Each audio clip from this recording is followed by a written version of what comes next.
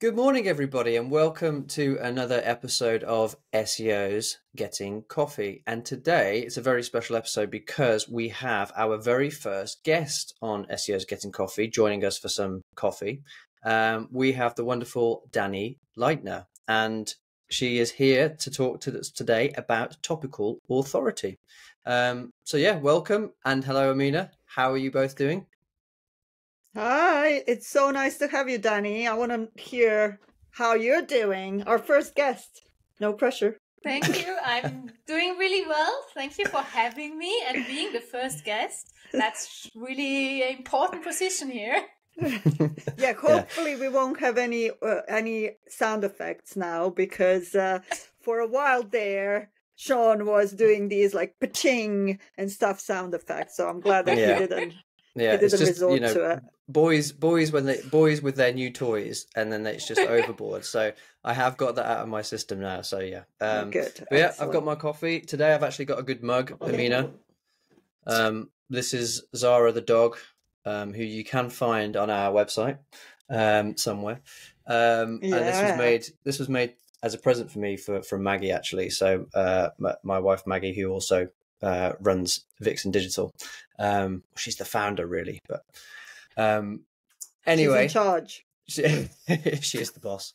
Um, so yeah, great to uh, great to be sharing a coffee. Um, let's talk about topical authority. Um, let's get right into it. Um, Emina, did you have any kind of starting points that you wanted to start with, or shall I just jump in and, and kind of go for one of my jump questions? in, and I'll uh, I'll uh, I'll jump in after you and uh, we'll be nice to Dani. Don't worry, Dani. Oh, that's Fantastic. Nice. Good to hear. Um, so I guess the, the main the main thing I think that, that, would be helpful for everybody really is if we just define you know topical authority really and give a give a, a basis of you know what is topical authority. Um, Dani, in as, as kind of basic and simple form, how would you kind of summarize and, and, and define topical authority? That's a really good question. I haven't talked about a simple explanation so far. Topical authority for me is when your website is the the site you should go to for a special topic if you want more information and want have questions. So it would be not just a topic you write one or two blog posts about, or you have like three things on your website. No, it would be the topic that you actually go into depth, that you have a lot of content, that if you a user lands on your website, it's not just, oh, I'm going back to Google to do some further research. No, he just stays at your website because there's everything he needs. Mm-hmm.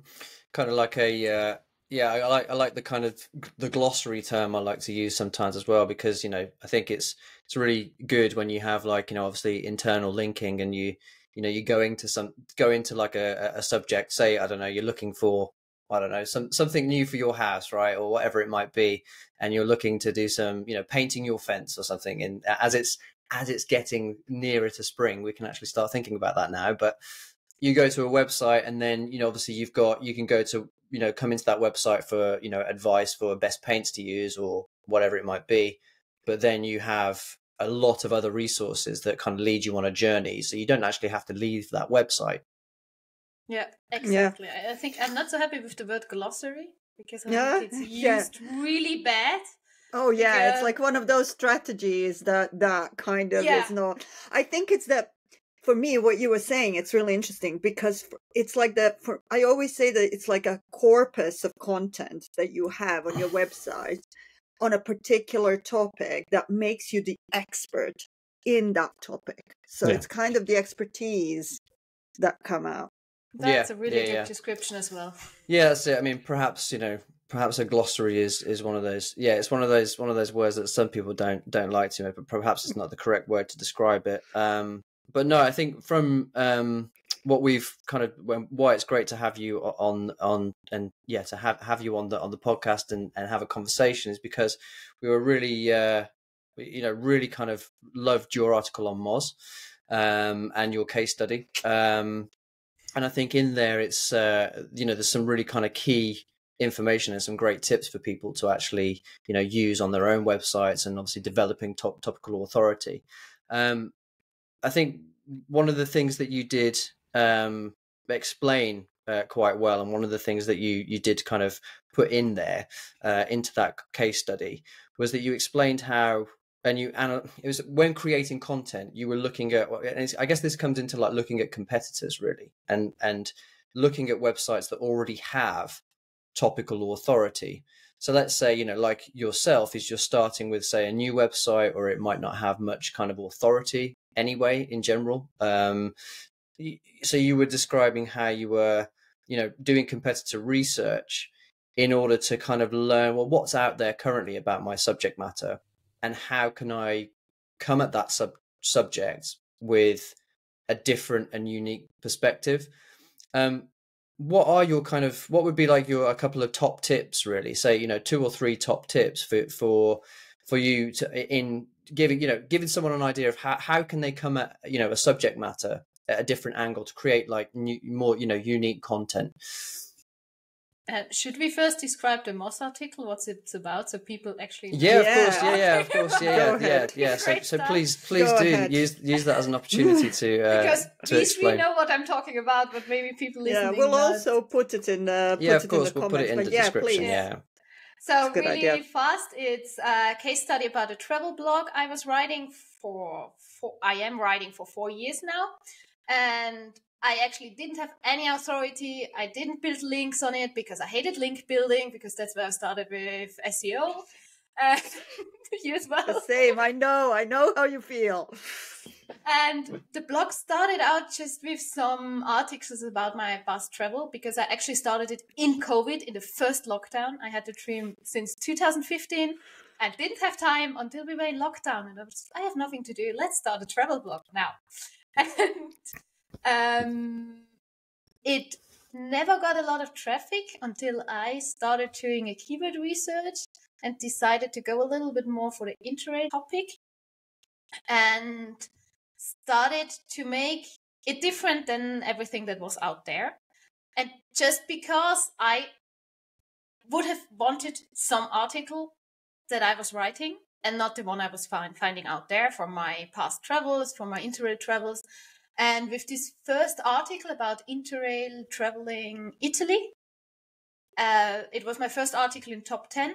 And after that, it was just crazy. I could post about, uh, about Interrail whatever I want. If the word Interrail is in there, I will rank on top 10.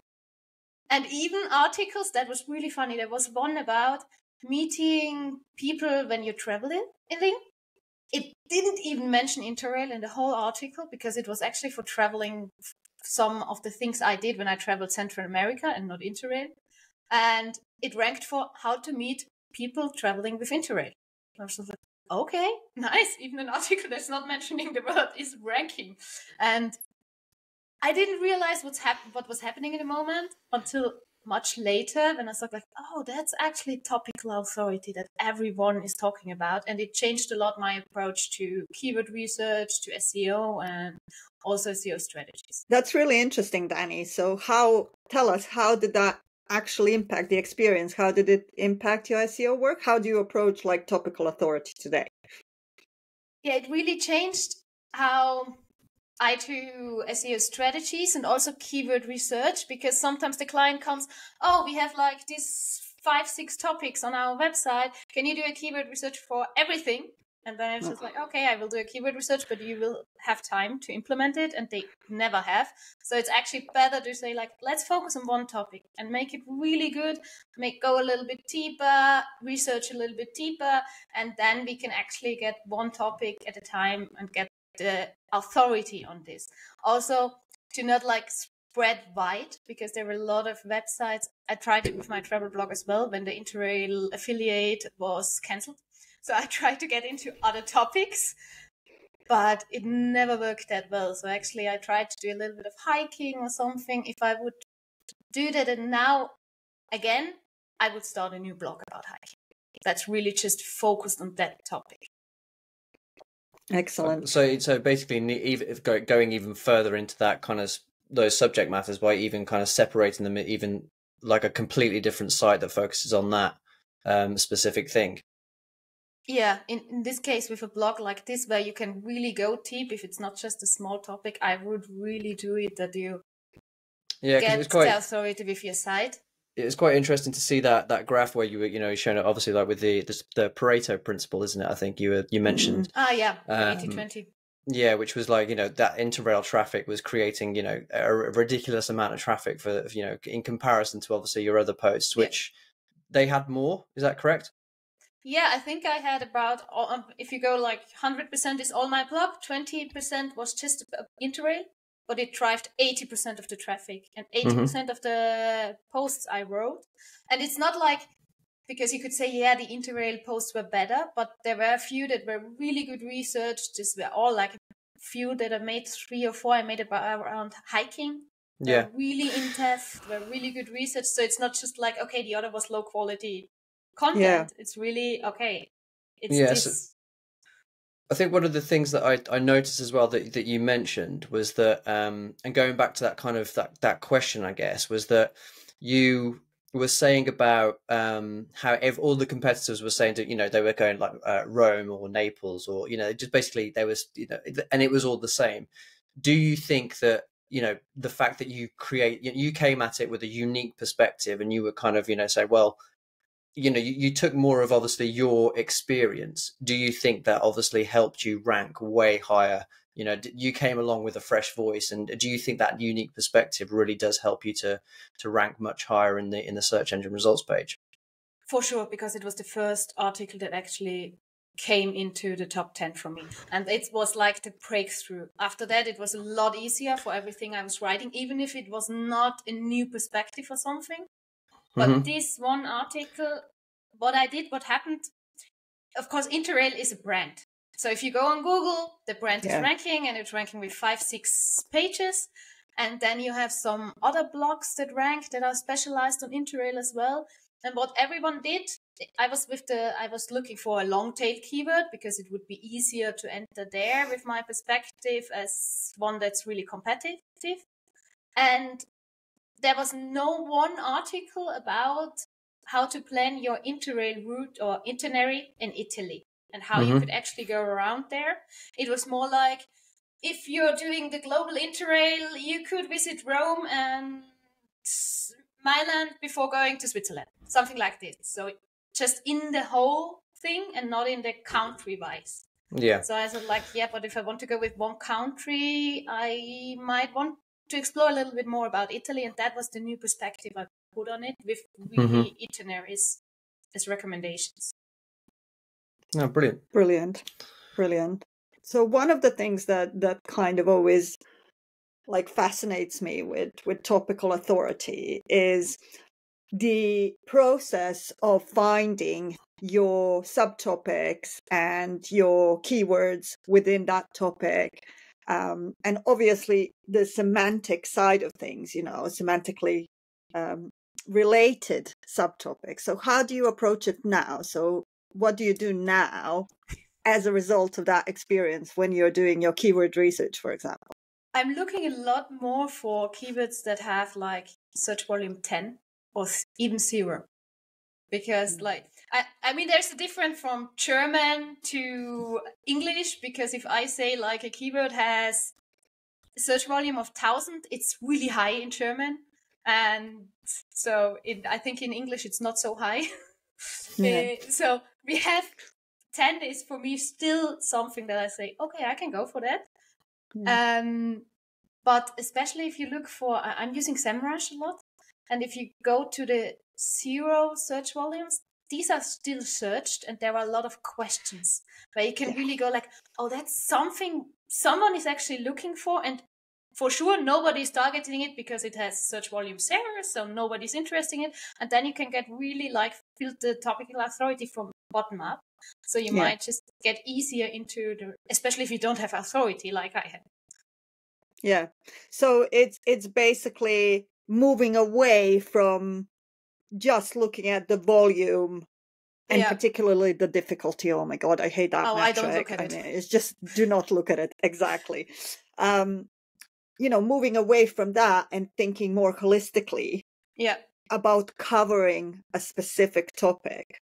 So it's interesting. And I mean, look, we're all for it. It's it's an approach that that we take a lot in our keyword research as well. Um, tools. So, what tools do you use? I mean, SEMrush is one of the ones that that that you mentioned. Any yeah. other ones for specifically topical authority that you would suggest? For specifically, uh, ChatGPT actually, Gemini. Because oh wow, tell us more. that topic now. Yeah, I just yeah. I just made some tests today with um, comparing the result of ChatGPT and Gemini, the new version they have. Actually, yeah. Gemini better, I think, for now. Oh, for controversial.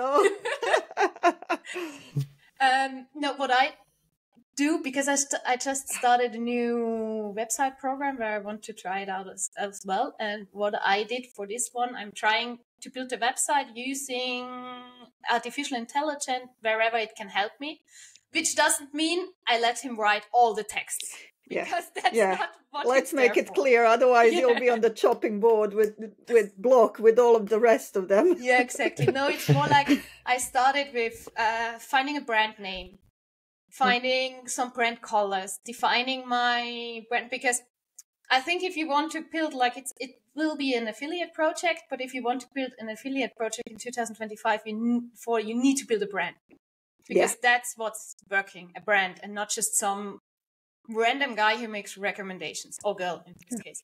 But so i started with the brand building and then i started building out the persona. And hmm. that's mm. working really well to get a little bit an idea about who is searching and then ask like what would be the questions? What topics might they have?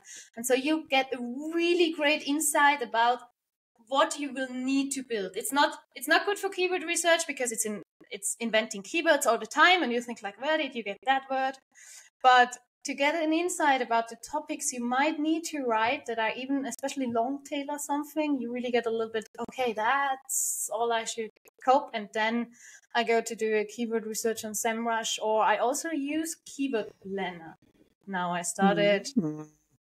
because I actually really like how he, how Google is in Keyword Planner.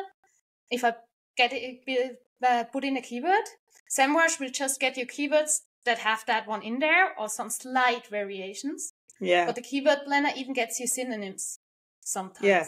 Mm. So it's actually Which really like good. interesting what you get there.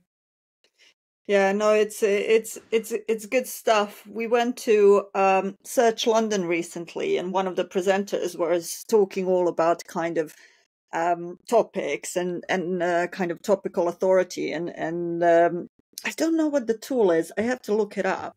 But it looks at um, semantically related topics um, to kind of build the pillars to mm. build a, which is super super. This is this is the super important bit. It's not just about okay, I'm gonna like talk about cheese and I'm just gonna cover everything like related to cheese.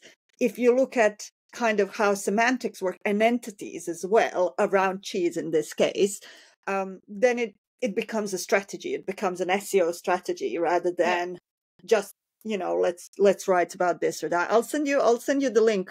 Yeah, I haven't tried the tool, but it's it's really it's really big on because it's with the tools that you mentioned. Uh, they're brilliant. Uh, but I find that there is still not that clear link to no. semantics this you know like the the the how do you say it? it's kind of a closeness of the words yeah yeah it's There's like the distance the distance between the terms yeah. basically that you're looking at to kind of determine what are the best ones that you should be yeah. talking about it's it's Sorry. I think I'm always with my my approach. There's a lot of manual work in there because normally yeah. when I do keyword research, it's ten hours collecting, mm-hmm. and then ten to fifteen hours ordering, clustering, putting it into format, researching on Google. And that's like, yeah. there's a lot of like manual work in there to go through every keyword to look like how do I cluster them, how it's better, or even look to competitors. Is there are there yeah. more topics that would be necessary yeah. and everything? So there's a lot of manual yeah. work still in there. Yeah, same with us. Okay, one topic that we didn't cover, and I'm mindful of time, but like when somebody says topical authority, I immediately think of that. Is and you mentioned it in your Moz blog is EAT. Yeah. Tell us what you think about it and how does it connect? And does it connect? I think actually topical authority is an important part of it because it's the authority part that I also feel like Google is going more and more in this direction with the updates they are doing and everything. That it's not just looking at one page of your website, it looks at the whole page, it looks at who is the author. And one thing to get authority in a topic is if you write a lot about it. That doesn't mean just on your site. Like the Moz article I wrote showed I know something about SEO, even if it was on another site and will help me also that Google knows like, oh, this girl actually is doing something with SEO. So maybe we should listen a little. Maybe you'll get a knowledge panel. Oh, that's that, that's. I'm looking for. I'm waiting the, for the knowledge that's, panel. That's the that's you know like ooh, the golden get, get ticket for every yeah, the, the golden ticket for every a, SEO. Yeah, if you get a knowledge panel, you know you made it. No, yeah. yeah, and I I think that's the that's the essence a little bit of the eat. It's not building an offer page and building getting an icon and your face out there and having an offer part. That's something you can do, but it's not the essential part of it. I think the essential part is that you show you have knowledge at this topic that you're writing about and show Google, hey, you can actually rank me there, you can trust me. And I think yeah. that's the most important part about it, not the get a photo of the author, get the author name, get a link to his websites. That's just like something surrounding everything to connect it. But Google can recognize if you wrote it or uh, ChatGPT wrote it or another person and you're just putting your name down there. Hmm. So he can recognize the structures and everything. So I think that's really the thing to stick to one topic and putting a lot or a lot putting your knowledge out there and showing Google and the user, oh yeah, I can trust him. Yeah, um, just one final question from me, uh, Dani, before we go on to uh, Room 404. Um, one of the things I guess in the Moz article that, that we've expected is that you know you you kind of came to that and, and you had a successful article and that obviously changed. But what would you say to people that don't have that success initially with articles that they're trying? Because uh, you know at the end you're quite positive with the article and you sign off. But what would you be your advice to people that you know um, yeah, maybe they're not successful straight away with, say, like an idea or or a, you know uh, an idea for an article or something that that say just doesn't rank very well. Um, yeah, one thing with this article, of course, if I go before I wrote it, it was like a chance I took to write it and see how it's going. I put all the effort in there I can put in there because it took me three months to write it and to research wow. everything. So I really put a lot of effort in there.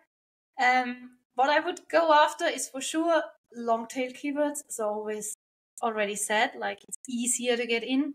It's you can really be concrete about the topic and what you're writing about.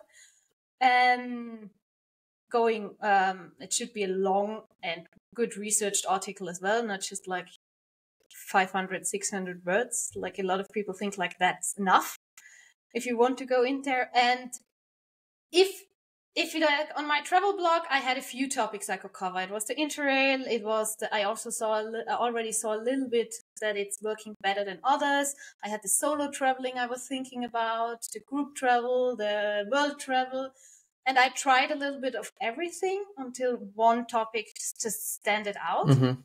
But if you have your page or your business, which is really one topic, don't give up on the first few articles. Just write yeah. more and write more and then you see then you will get into because it's not like i think it was because it was so a special article and so different from the rest like you said that i got in there with one but if it wouldn't have been that one i would have needed like right 10 15 around interrail until yeah. google might start trusting me so that's normally the normal way i yeah, think yeah Good. No, but I like the message. That's a great message to end on. Is you know, to, for people is that yeah, just don't give up. Basically, is that yeah, to yeah. You know, mm-hmm. keep on and carry on and, and keep keep working at it. And then you know you will have a successful um, article at some point you know. Um, right on to room 404 um, i mean emina and i have plenty of things each week it's, that we would like to it's banish. stuffed. it's stuffed. The room 404 um, is bursting at the seams. Yeah i think we're going to have to migrate it over to a larger uh, a larger place aren't we? Um, so Dani, we will invite you to suggest something that has annoyed you or um, yeah, something that maybe this week, maybe this month, um, is there anything that you would like to banish to room 404 forever, never to see the light of day again? Does it need to be something with SEO? D- no. Doesn't have to be. Doesn't have to okay. be. then I want to punish Windows and every Windows update out there. and I'll explain okay. it. Last week on Thursday, I went to Austria because I'm living in Switzerland and we went with the car there. And half an hour before we leave, left with the car, I was shutting down my computer and it had to do some updates. And I was, yeah, just do your updates and afterwards I can shut you down to put you into the car. It was never starting again. It was just like in a loop. And I have a technical education. I have set up Windows. So I was all weekend trying to restore it. I restored it on Saturday morning just to install the update again and getting again in the loop. Then I decided I need a new laptop. I just propped a new laptop and I really would have loved a Google Chrome laptop because I'm so pissed off Windows. But the Google Chrome laptops are not really that easy to get at the moment. I don't know what mm-hmm. happened to the Google Chrome because. What about Macs? Did... I mean, I'm surprised no, that you're like. like Oh, that's good. No. we'll have another episode for that. yeah. I'm coming from IT. I'm not using Apple. Uh, but I would love a Chrome laptop because I actually do everything in the cloud. And now I just, today, I got my Windows laptop, my new one.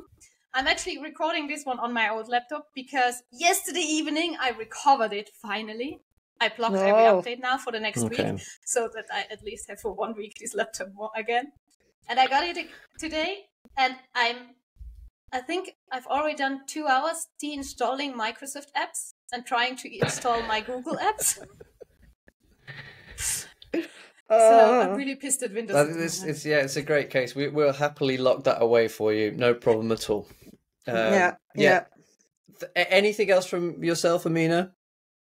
No, I think I think it's a it's a, a controversial one. A whole operating system in just, there. Just yeah, we can put it. We can put it. We can put it in there. Yeah, but, but I think uh, if you, yeah, it's a good but one. the same thing. If if you were if you were using uh, Macs, then I think that you know that would have been in Rufora for a long time ago. Um, yeah, yeah. So yeah, but no, thank you so much for your time today, uh, Dani. It's been uh, yeah, it's been really great to to have you here, and uh, yeah, thank you so much for being a guest. Um, yeah, I, I, that's it. I guess it's time to to wrap up really, and I think I've already finished my coffee. Um, so yeah, thank you so much. Um, final words from me, uh, from S- anybody at SEO's Getting Coffee. Um, thank you so much for watching. Uh, please do uh, engage in the conversation. Feel free to ask any questions. Please do leave some comments, um, and we'd love to start the discussion online. Um, but yeah, thanks again, and hopefully we'll see you next week where we I think we have another guest lined up, don't we, Emina? Mm, I think so. I got. We I might do. Check. We might do. Okay, brilliant. Uh, and Thank don't so forget, much. don't forget to check out Dani online and check us yep. through website, and we'll put it in the comments. She's been yep. an amazing guest. She's a great SEOer as well. So yep. you know, let Google hear that. We will put everything yeah. in the description. authority. and we will. The, uh, we'll also authority authority on topical authority. There you go. And Emina, if you, can, so if you can remember those tools that you were talking about as well, we'll put those in the description as well. Yeah.